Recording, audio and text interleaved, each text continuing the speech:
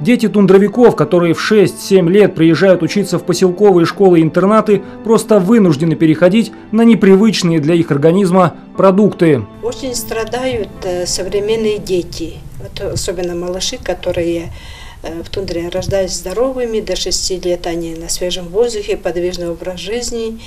Э, Переходом жизни в интернат у них начинаются проблемы. Их кормят несколько раз в день. В меню и первое, и второе. На десерт сладости, соки, фрукты. Любой среднестатистический россиянин мог бы позавидовать, но для ненецких ребятишек это порой совсем не то, что они хотели бы получить.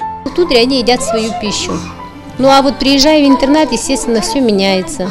Вроде как мы хотим, чтобы витамины, да, углеводы, вот это все, но вот они вот не ели вот это все 7 лет, да, и тут вот ешьте, ешьте, но они вот через не хотя толкают это, потом оно э, сказывается на здоровье, э, животики начинают у нас болеть, сыпь.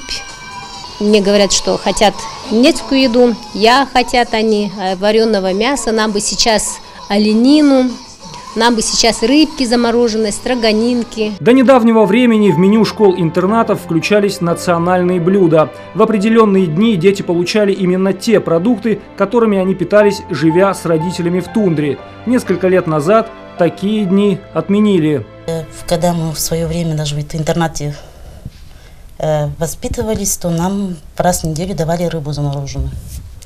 То есть э, детям давали, что это их пища, которая им нужна. По практике я припоминаю, что они именно вот этого дня, это, по-моему, пятницу, они именно этого дня дети ждали.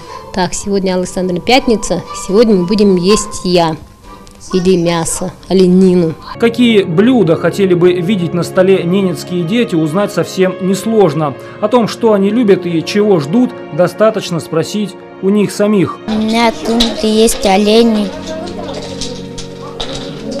Нам, когда пап придут, олени и рыбу привезут, мясо. Какие блюда любимые у вас? Рыба. Меня рыба. Рыба.